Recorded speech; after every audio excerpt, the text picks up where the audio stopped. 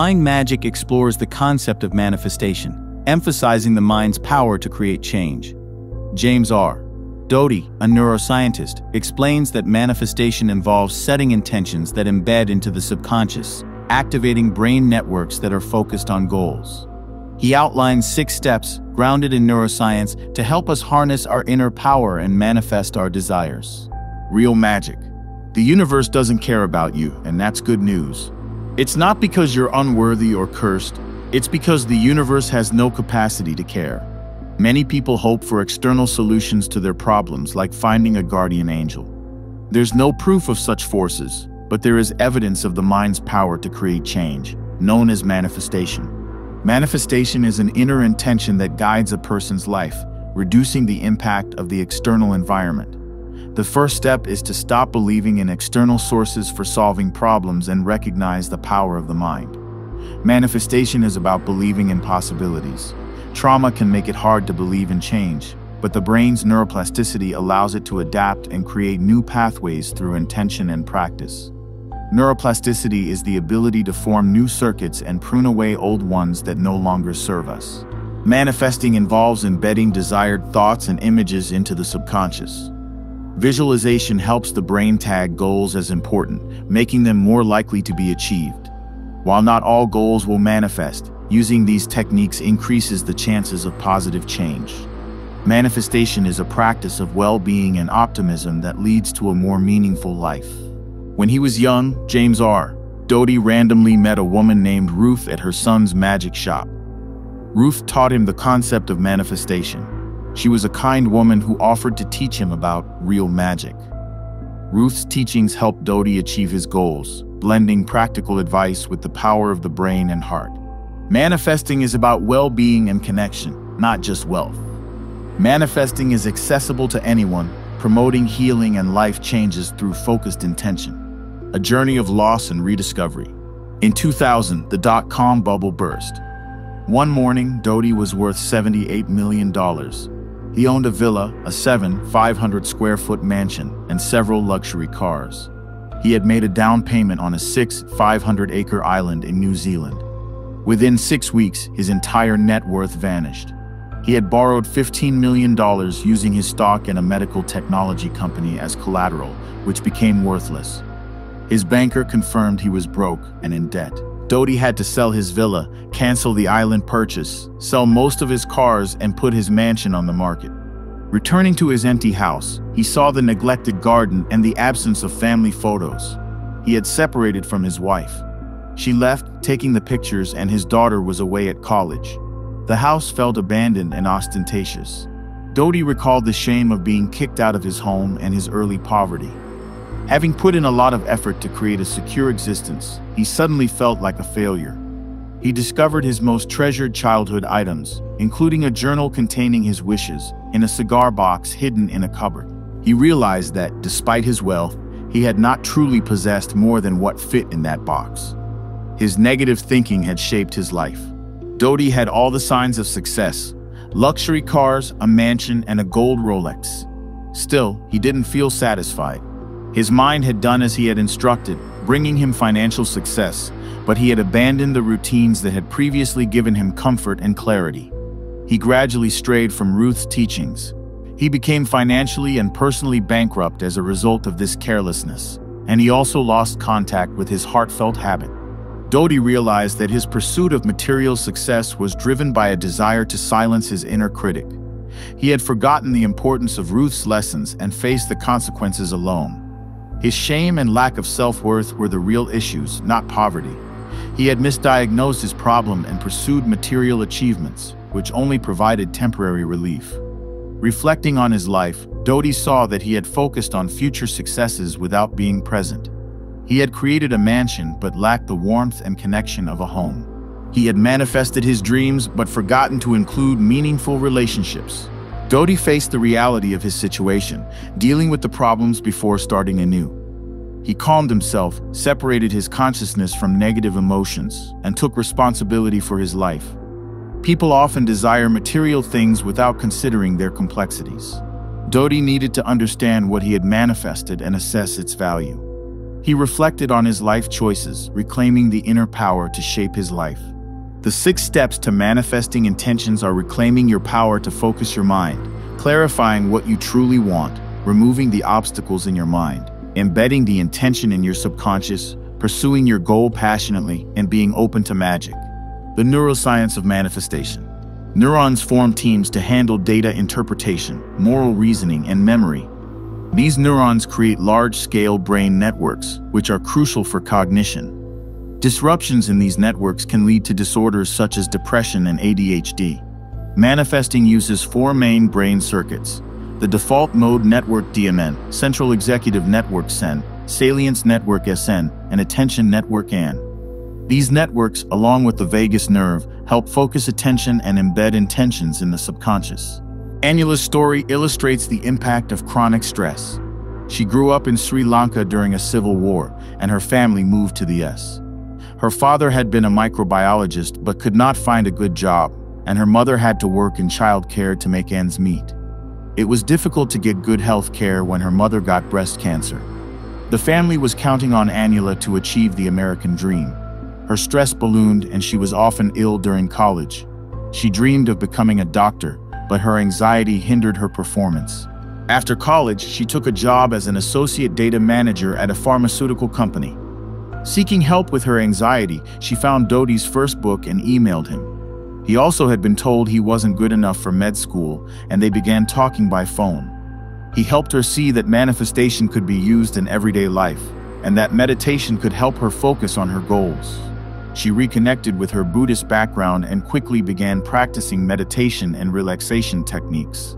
The human nervous system includes the sympathetic nervous system SNS for fight or flight responses, and the parasympathetic nervous system PNS for rest and digest. Chronic stress keeps the SNS activated, harming health, which is what happened to Anula. Neurotransmitters, including dopamine, serotonin, oxytocin, and endorphins, regulate happiness and well-being. These chemicals are essential for positive emotions and achieving goals. Anula found peace and clarity. She wrote letters to congratulate herself as if she had already fulfilled a desired achievement, starting with a promotion to full data manager. She carried the letter, reread it often, and visualized the emotions of achieving her goal. This practice boosted her confidence, reduced her insecurity, and made her more decisive at work. Her colleagues and supervisors noticed her newfound confidence, and she got her promotion. Despite this progress, fears still haunted her, she realized she needed to align her goals with a larger purpose. Reflecting on her potential impact as a doctor helped her transform fear into compassion. She reconnected with the practice of metta, or loving kindness, from her childhood in Sri Lanka, offering compassion to herself, her loved ones, and future patients. This practice filled her with warmth and helped her transcend a self-centered approach. Anula increased her focus and energy, her practice scores on the medical college admission test improved. She kept writing herself congratulatory letters, combining visualization and relaxation with compassion. When she took the test for real, she scored well. Holding her acceptance letter to medical school felt familiar, as she had visualized it many times. Anula graduated from med school and continues to practice calming her mind and opening her heart, activating the PNS. The DMN is active during inward-focused activities like daydreaming and self-reflection. It helps us narrate our life story and empathize with others. However, it can also contribute to negative self-talk. The SN determines what is important among the overwhelming stimuli we encounter. Dysfunction in the SN can lead to anxiety and depression. The IN focuses our attention, while the SEN helps with decision-making and problem-solving. Effective collaboration among these networks is crucial for manifesting goals. The PNS facilitates well-being, learning, and creativity, making manifesting possible. Switching from a fight or flight response to a rest and digest response involves practices that activate the PNS. Close your eyes or softly direct your gaze a few feet in front of you. Turn your attention inward. Notice where your body contacts the surface holding you. Feel gravity rooting you to the earth and the ground pressing upward into your feet.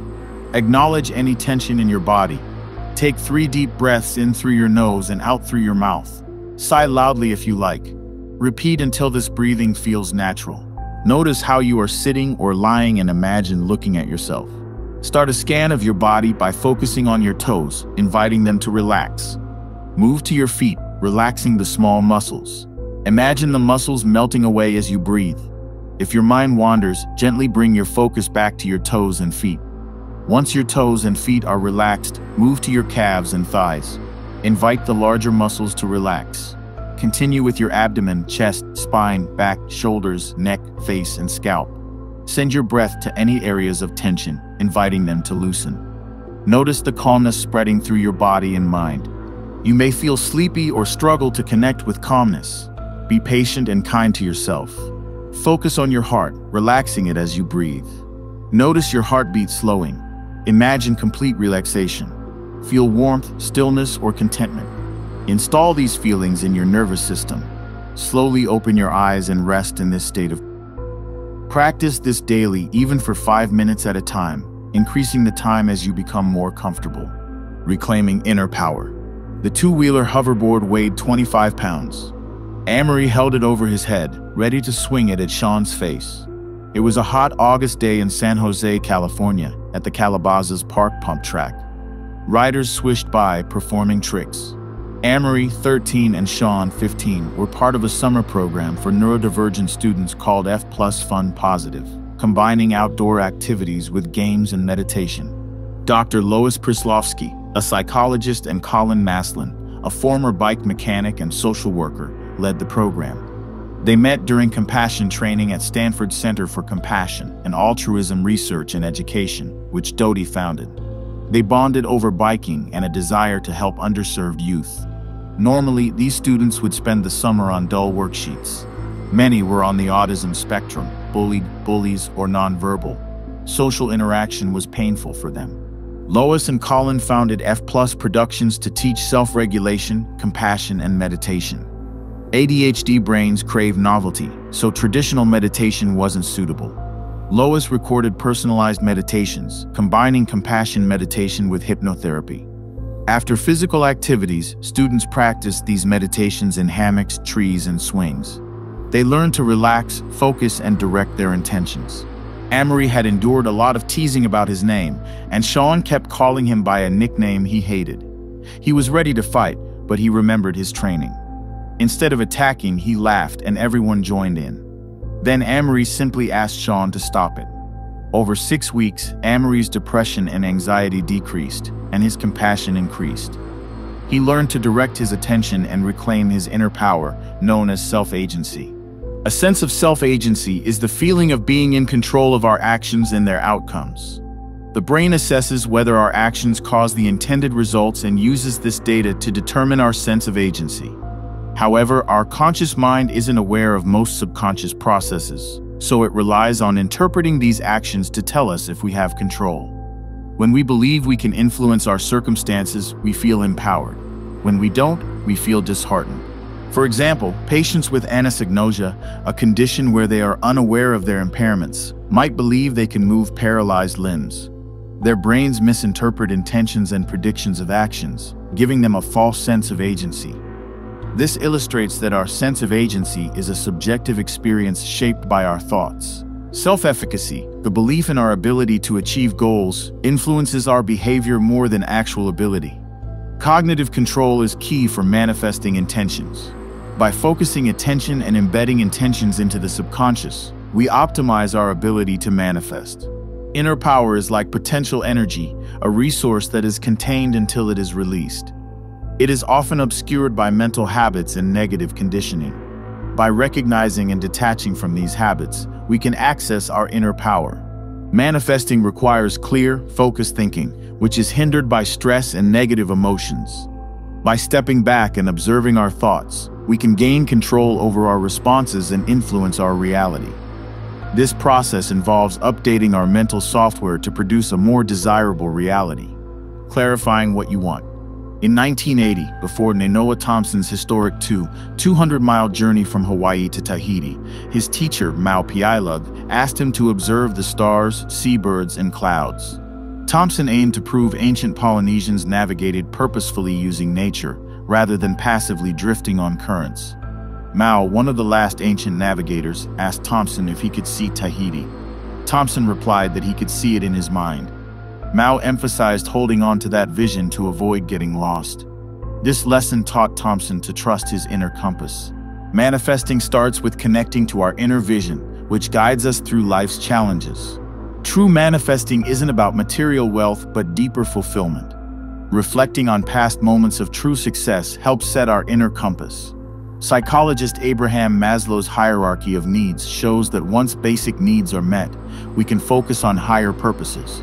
Manifesting can help at any stage from basic needs to self-actualization. It's important to discern true desires from societal or superficial ones.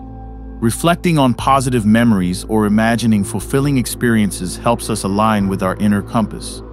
Positive emotions from these reflections guide the subconscious to seek similar real-life experiences. Christine Wamsler, a professor at Lund University in Sweden, used visualization to secure funding for her sustainable development work. By visualizing success and feeling positive emotions, she aligned her inner compass with her goals, leading to real-world achievements. Aligning intentions with heartfelt desires and evoking positive emotions strengthens the role of the subconscious in achieving goals. Positive emotions activate the brain's reward systems, aligning our inner compass with our intentions. They help us break free from old patterns. Associating intentions with strong positive emotions in the present signals their importance to the subconscious. Vivid visualization enhances emotional intensity by capturing attention and alerting the brain to prioritize these intentions. The brain uses value tagging to classify information, determining its importance based on emotional content related to belonging, connections, life meaning, and survival. Strong positive emotions indicate that an intention is meaningful and should be cultivated. Visualization should include detailed physical circumstances and the associated positive emotions such as joy and contentment. Positive emotions change the brain's focus, prioritizing future experiences that evoke similar feelings. The source of these emotions is less important than recognizing and savoring them. This process teaches the brain to form new neural circuits, making positive experiences more salient and guiding intentions. Engaging the PNS enhances imagination, allowing the brain to integrate past experiences into a holistic picture. This fosters creativity by recombining memories, present experiences, and imagined possibilities. The SNS, focused on past and potential dangers, hinders positive imagination, limiting the ability to envision and achieve a better life. To break free from old patterns, we must create vivid, emotionally heightened inner experiences.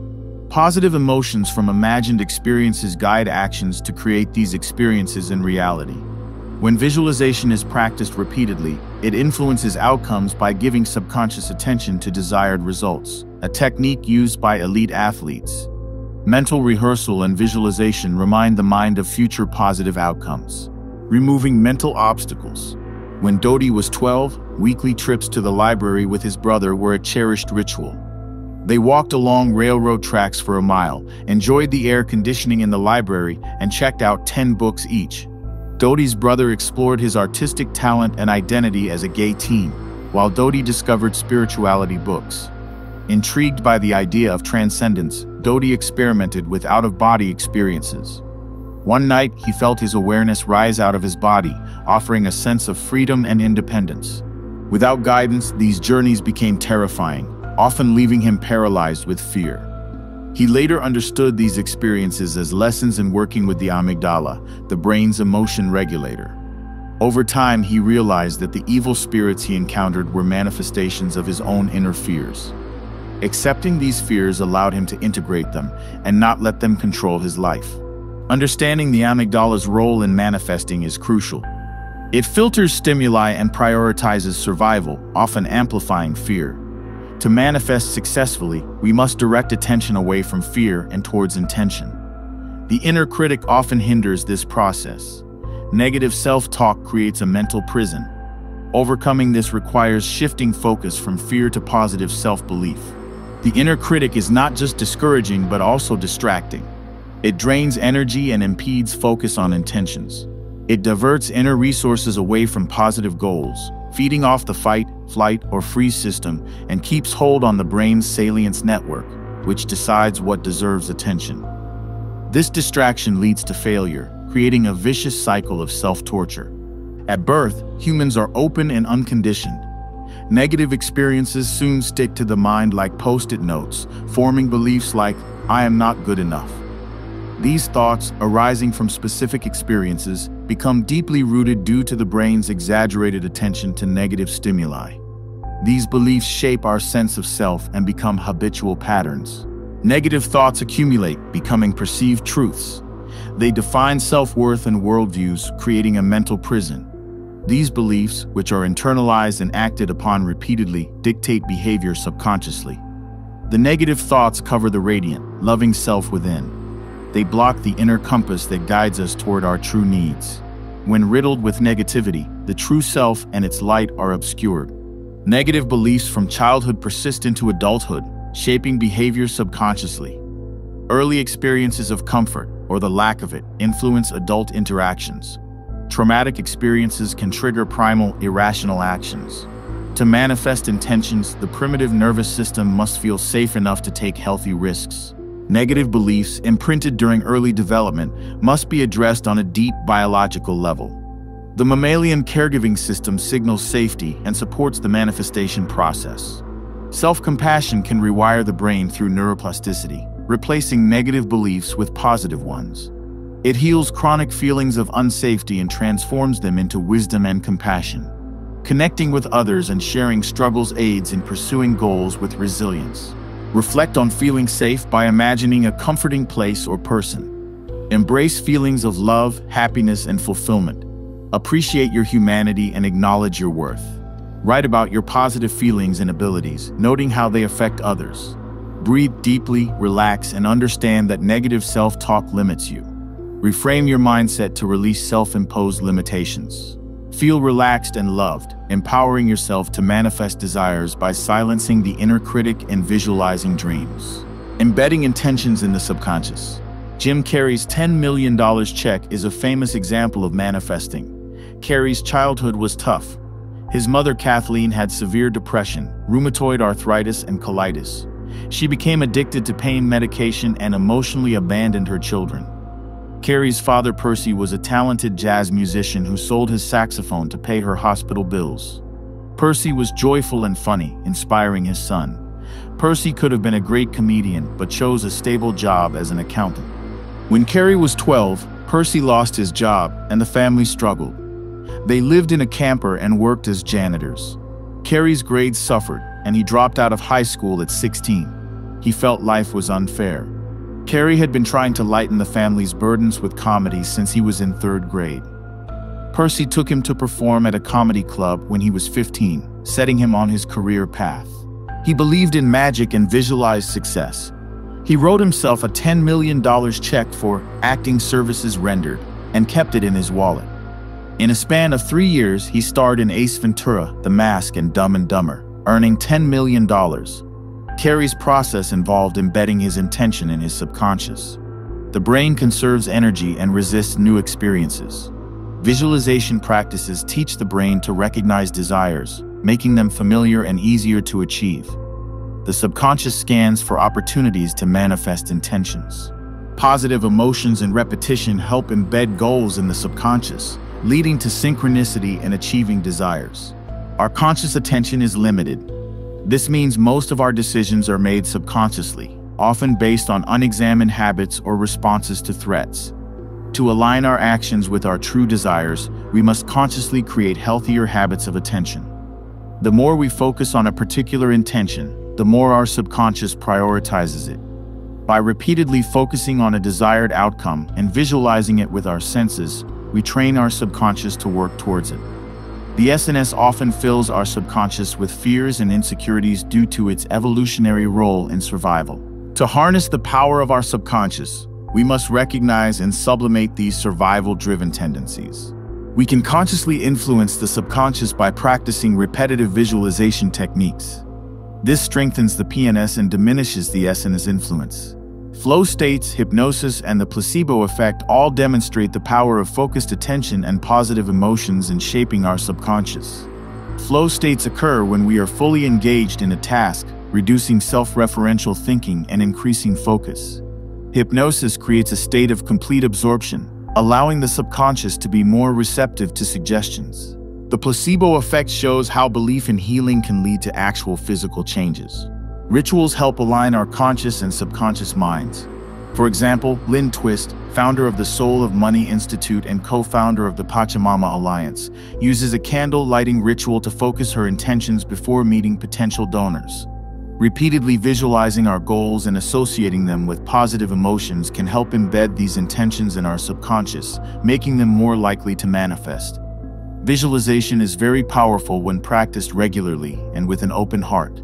Sit down, relax with your eyes closed, and focus on your goal. Redirect your wandering thoughts. Breathe deeply, relax your muscles, and feel calm, safe, and focused on manifesting your goal. Visualize your intention and feel satisfaction. Breathe slowly, feeling calm and connected to possibilities. Practice this daily for better results. Pursuing a goal passionately.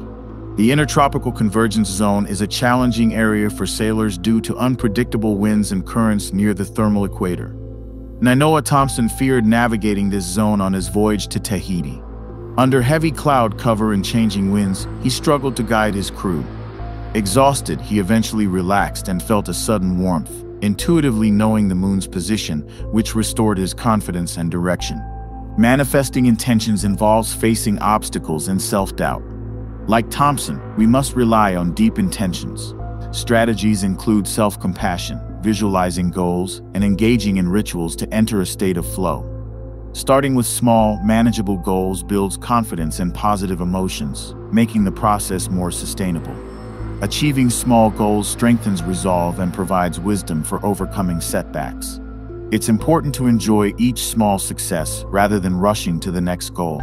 Improving interactions with others can aid in manifesting intentions.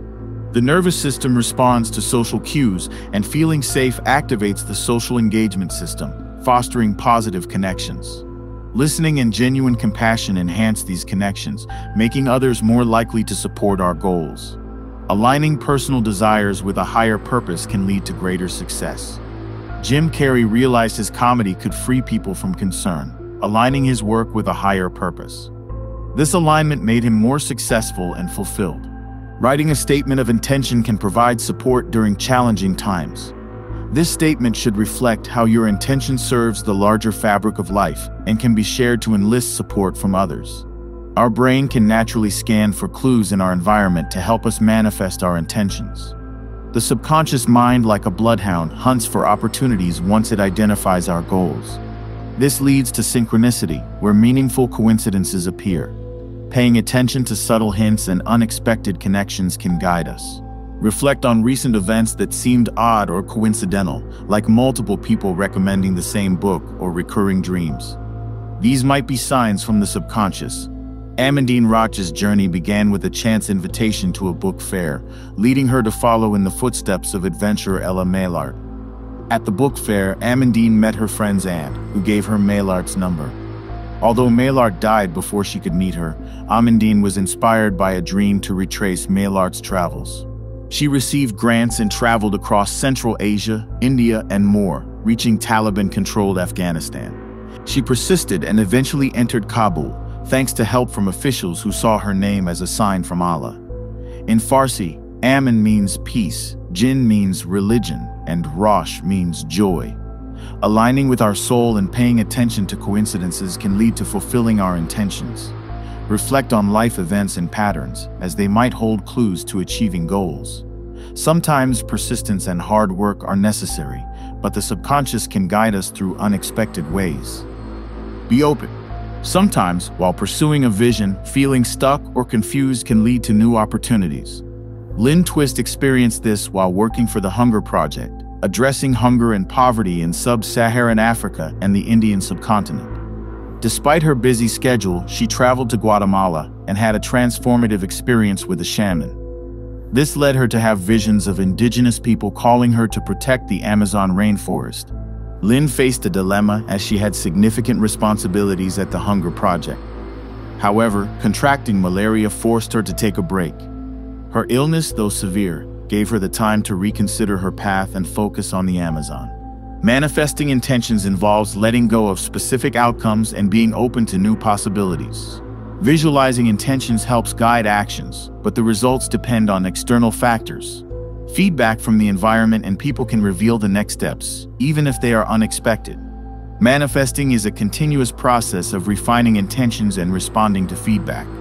Positive results reinforce the importance of the intention, while negative outcomes prompt reevaluation. Helping others can shift focus from self-criticism to a broader perspective, fostering personal growth. Aligning intentions with larger goals and being patient can lead to unexpected and fulfilling outcomes.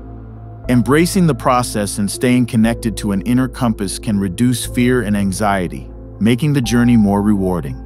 When others get involved, the number of moving parts increases, making outcomes more uncertain. Our ego can inflate our identity and lead us astray. Impatience and anxiety can cause self-criticism, while unmet expectations can lead to anger. Practicing self-forgiveness and maintaining balance helps us push forward and let go.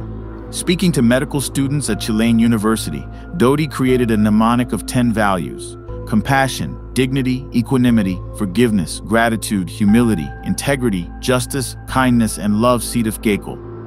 This alphabet of the heart sets the tone for the day and helps calm and reset intentions when frustrated. Gratitude shifts focus from what is lacking to what is working, producing changes in the brain that enhance well-being. Studies show that people who practice gratitude are happier and healthier. One study with college students found that writing gratitude letters improved mental well-being more than writing about negative experiences or receiving counseling. The benefits of gratitude practice were long-lasting and detectable in brain activity. Visualize someone who helped you feel gratitude and write them a letter. Reread it to deepen your gratitude. Share the letter with them or keep it. Write new gratitude letters regularly. Equanimity, the ability to maintain evenness of temperament, helps us pursue intentions without being swayed by outcomes. It's about understanding the transience of feelings, whether positive or negative. Equanimity allows for freedom from attachment and reduces suffering by blocking secondary reactions to negative events.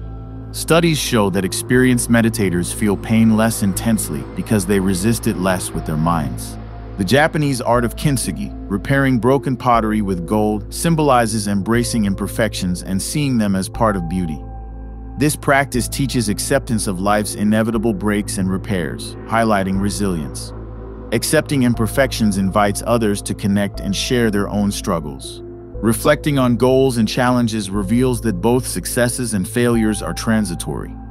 Maintaining equanimity helps navigate life's ups and downs, fostering self-forgiveness and acceptance. Open your heart to self-love. Reflect on a time when you felt unconditional love and acceptance. Direct these feelings toward the tension you feel. Recognize your worth beyond outcomes. Let go of attachments to a particular outcome. Embrace equanimity Install positive feelings. Notice if your sense of attachment has shifted or transformed. You might find a creative possibility you didn't notice before. A second chance. Driving home to Los Altos Hills, California, brings Doty feelings of warmth, safety, and peace. His garden is full of life, with fruit trees and a soothing pond. The house, designed in a contemporary Asian style, offers tranquility. Doty remarried and his family life is now rich, with in-laws helping the children with homework and everyone enjoying meals together. A cherished childhood photo and a painting by his